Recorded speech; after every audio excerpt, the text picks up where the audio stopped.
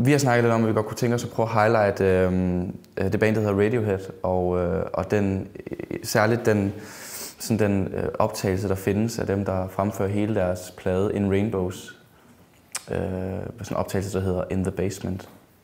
Det er sindssygt stærkt, og man kan virkelig se, at de har spillet sammen i mange år, og de har bare sådan en helt vild måde at interagere med hinanden sådan rent musikalsk på. Det har vi trippet ret meget over. Sådan.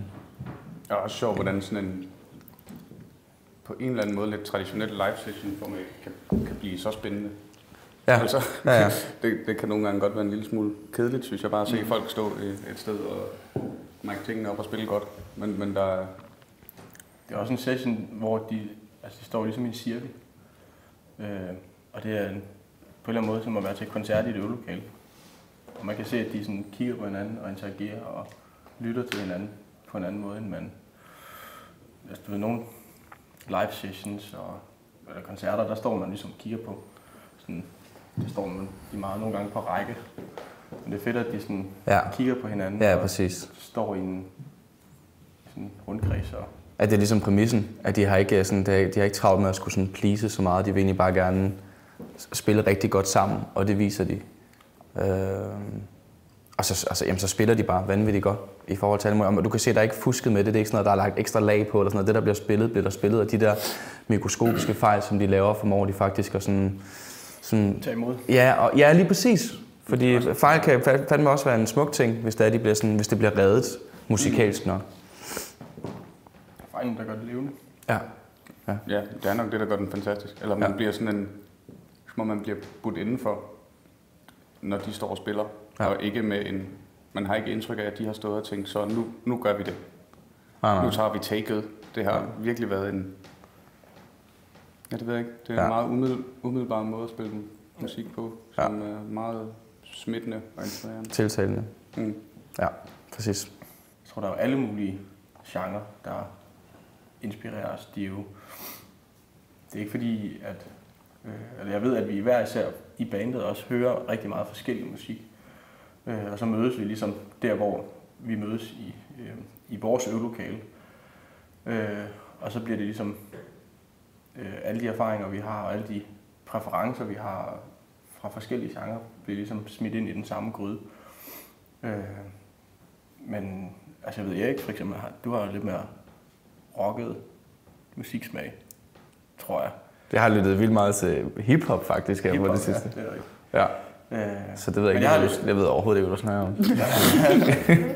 Ej, det er noget fisk. Ja, jeg lytter meget til rock, men jeg lytter, men vi lytter bare vildt til alt muligt. Ja, ja, ja. Min pointe er bare, at Jeg tror, vi har en virkelig bred musiksmag. Altså, Ja, ja, som ja, er helt 100%. sindssygt. øh, jeg, har- altså, jeg, har lyttet meget til, til eller lyttet meget og spillet meget jazz for eksempel, og øh, jeg lytter også meget til klassisk musik, og, øh, og til alle mulige forskellige ting. Og, så, øh, og det sætter sig, altså jeg har ligesom mit, mit, øh, mit genrehjørne, hvor jeg, hvor der er nogle ting, jeg godt kan lide. Øh, og det, andre, det har I andre jo også. Mm. Og det synes jeg øh, er, må, er måden, man skal mødes i, sådan, i en erkendelse af, en erkendelse og accept af hinandens øh, præferencer. Ja, tror jeg. 100 procent. Og, være sådan, og få det til at, at smelte sammen, og være åben over for det, de andre laver. Og, og, Ja. og, og sådan, altså, det fedeste er jo, hvis man er inspireret hinanden, basically. Hvis der er nogen, der kommer med noget, og sådan, jeg har det her beat, eller sådan, jeg, har lyttet vildt meget til den her jazzplade lige for tiden. Og sådan, altså, hvis man, hvis man dykker ned i det, og så bagefter jammer, eller har, har den der ting der i baghovedet, sådan snorene, når man går til et nyt nummer, eller sådan noget, det, det, kan, det kan sætte sit præg. Så jeg tror virkelig, at sådan, nøglen er virkelig også at sådan, ja, sørge for at holde spænding og være inspireret af hinanden. Det er også det, det, det, der gør, at det overhovedet er sjovt at spille hinanden. Eller at det er spændende. Altså hvis vi bliver ved med at finde inspiration de samme steder, så tror jeg også, vi vil, Jamen, så visner det så jo. ville vi kede os lidt. Ja, ja, ja. Altså, 100%. jeg ville kede mig ved at spille sammen med jer, hvis det var den samme plade, I blev ved med at snakke om. Jeg har faktisk en anden ting, jeg gerne vil nævne som noget, som øh, øh, jeg ved, vi har lyttet til det alle sammen. Jeg fandt den bare lige frem her for nylig, som jeg synes var vildt fed. Et, et band, der hedder Unknown Mortal Orchestra. Øh, og, og et nummer, der hedder Extreme Wealth and Casual Cruelty. Mm. Som bare er sindssygt lækkert øh, bygget op og har sådan en rigtig corny lang øh, saxofonsolo, som egentlig virker sådan et pudsigt castet første gang, man hører den. Men ja, jeg, jeg ved ikke, er I, er I med på, hvad jeg Ja, om? ja, totalt med. Ja, det, det er fandme sygt nummer, altså. Det er fedt. Ja. Saxofon på den næste plade. Ja, saxofon, det kunne faktisk... øh, ja, det er slet ikke en dårlig. Præcis. Ja. Og så en, øh, en, en virkelig, virkelig fed live performance, som så ikke er en live performance, som... Øh, Eller er det det? Eller er det det? Jamen det er det bare ikke. Kim Larsen, han, øh, han lavede på et tidspunkt, han var med i noget, der hedder Lørdagshjørnet. Øhm, og, øh, og på det tidspunkt, der var det sådan meget normalt, og det er det vel egentlig også stadigvæk, men, men i højere grad dengang, at man, øh, man lavede øh, playback, øh, når folk var i fjernsynet og spillede.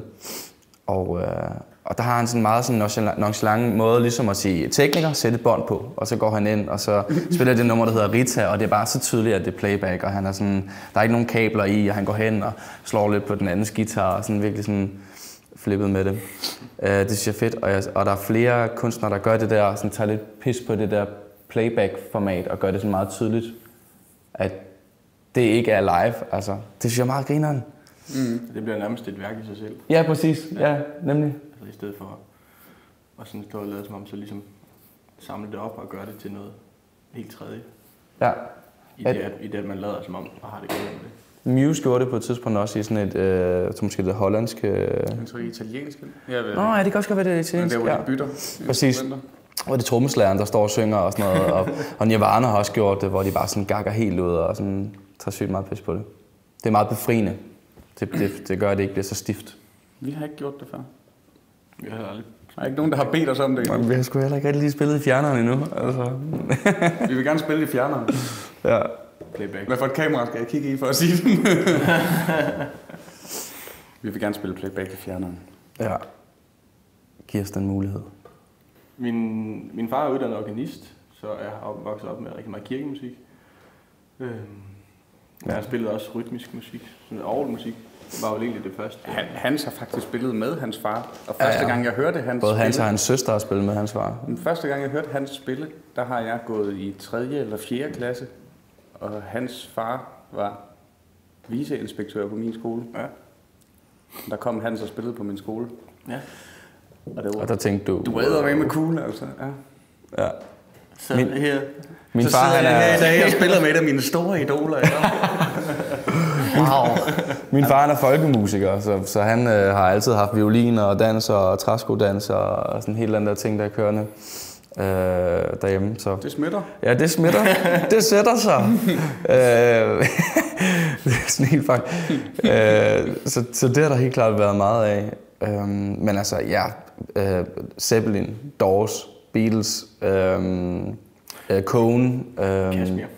Ja, det var ikke lige så meget det, som jeg har fået fra mine forældre, men ja, det, fandme, det var noget af det, man opdagede selv. Oh, ja. ja Ja. Jeg har været igennem nogle ret sådan grimme perioder. Mandane, vi spillede os. Vores, mit første band var Mandane, faktisk, da vi var den 13. Ja. Øh, det er et band, der hedder Gojo. Du skal ikke sige det, så Jo. jo være, at de kan finde noget. Ja, men det... Nej, jeg tror ikke, Jeg står der, ved det, jeg jeg tror ikke, der er noget out there. Nej, jeg tror det. Der spillede vi covers. Ja, det var covers. Dizzy Miss Lizzy og Green Day og oh, nice. Kashmir.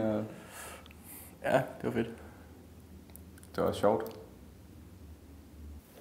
Lige nu er det sådan, at Daniel og Hans de har meget travlt med deres eksamener, så jeg sidder og skriver en masse sange. Sådan, så jeg har en ordentlig røvfuld sang og er klar, når, det er, at, øh, når de har tid til mig igen. Og tid til bandet igen. Ikke... Det skulle ikke være sådan der. Øh, Vi skal, nok finde tid. ja, men det er jeg glad for at høre. Det, det glæder jeg mig til.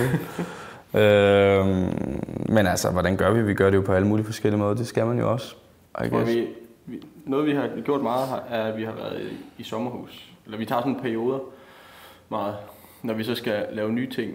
Øhm, selvfølgelig mødes vi jo en gang imellem, nogle gange sådan en gang om ugen, hvis vi har tid til det, og, og kigger på nye ting også. Og, øh, men men de, når vi sådan skal rigtig lave noget nyt og være kreative, så, så vil vi gerne sådan være meget koncentreret i en længere periode. Øh, så vi har været i Mm. sommerhus øh, nogle Mm. gange, og skal det også i år. Mm. Øh, eller så tager vi bare nogle, en uge eller to i øveren hver dag. Ja. Mm. Øh, så det er meget sådan koncentreret, når vi egentlig er det. Det synes jeg egentlig også... Øh, øh, det er ligesom der, at vi får lavet mest. Men når Ja. det så er sagt, så har vi også alle de der perioder imellem, hvor vi sender numre til hinanden, eller snakker i, i bussen, når vi er ude at køre, eller... Øhm, ja. Vi er i hvert fald ikke så meget en af de der bands, som øver to gange om ugen. Det er ikke så meget sådan, vi svinger og har vel, det er vel rigtig, rigtig lang tid siden, at vi har gjort det. Eller sådan, det. og også af, hvor meget man spiller. Vi spiller så mange jobs lige for tiden, så Ja, ja. der er ikke, Ja. der er Vi ikke mødes to gange om ugen. Ja, ja, jo nærmest, fordi vi spiller så mange koncerter, men, øhm, men det er sgu sådan lidt en, en, en, en, en, en vild størrelse, og, og, den, og det er ikke fordi, vi kan sige, det er sådan her, vi gør. Vi gør på vildt mange forskellige måder. Vi, øh, øh, vi kan isolere os i studiet eller i øvelokalet en periode, og, og så kan der netop gå enormt lang tid imellem, og så er der en periode, hvor vi har helt vildt meget tid, og så nogle gange... Det Ja, sker jo forskelligt. Altså, sidste plade opstod meget, det skulle gå stærkt. ja, ja. Og det ville vi gerne have, det skulle. Mm. Så jeg tror gerne, vi vil have sådan en, en hurtig proces. Mm.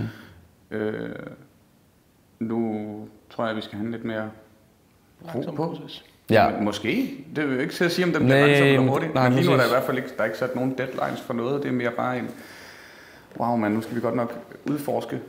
ja. Og være søgende og være sådan eksperimenterende i højere grad, end vi var på den sidste. Det glæder jeg mig til. Mm.